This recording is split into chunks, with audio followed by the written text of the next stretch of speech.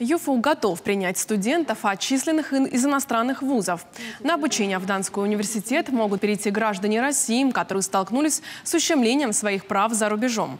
Молодым людям предоставят места в общежитии. Дисциплины, которые они проходили в заграничных учебных заведениях, будут перезачтены. Мы готовы принять 500 человек в городе Ростове-на-Дону и готовы принять 220 человек в городе Таганроге.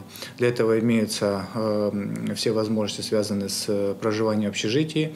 И, конечно же, мы э, перезачтем те дисциплины, которые э, будут пройдены у них в тех университетах.